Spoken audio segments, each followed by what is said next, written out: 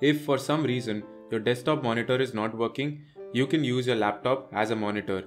But we can't directly do that by just plugging an HDMI cable.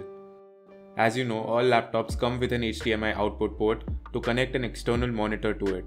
But they don't have any HDMI input port, so we can't take video input and use it as a monitor. To take the video input, we have to use a video capture card. This device converts HDMI to USB and helps you to take the video input through a USB port.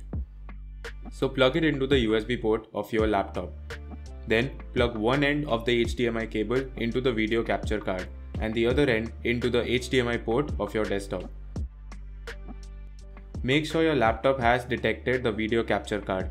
You can confirm by opening Device Manager. If detected, it will be listed under the cameras section. The capture card actually supplies the video source to the laptop as a camera input. That's why Windows listed this device as a USB camera. Now, to see the video inputs from the capture card, we need to use a software. The laptop thinks the video capture card as a USB camera, so you can use the inbuilt camera app in Windows to see the video output. Or you can also use any application that can show the video feed from a camera. For example, you can use OBS Studio. First, Let's do it using the camera app. The camera app allows me to select different cameras that I have attached. By default, my laptop's webcam is selected. You need to just click on this change camera button to select the USB camera. Now, the camera app is set to show the video input from the capture card. Now, let's power on the desktop. You can see the camera app is now showing the display of the desktop. I can now control the desktop using the laptop screen.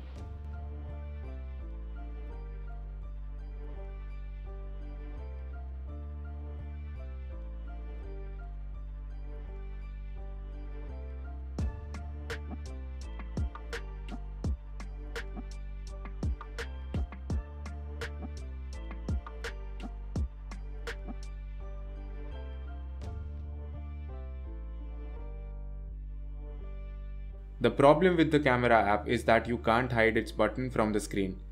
If you want a clutter-free experience, I'd recommend you do the setup using OBS Studio. OBS Studio is an open source video streaming software. You can download and use it for free.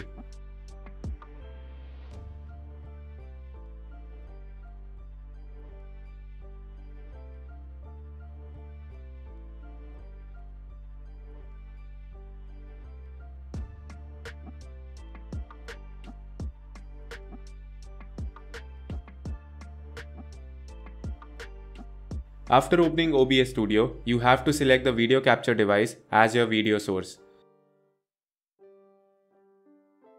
From the device drop-down, select the USB video capture card. Now right-click on the preview screen and transform it to fit the laptop screen. Then right-click again and select the full screen projector preview option. After doing this, the display of the desktop appears in full screen mode. Using this screen, you can open up any application on the desktop and use it as you normally would with your primary monitor.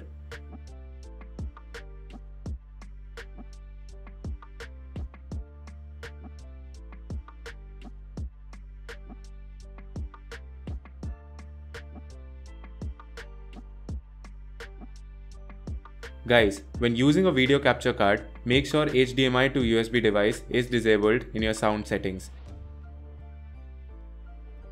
And only speakers should be selected. Otherwise, you'll not get audio output from the desktop.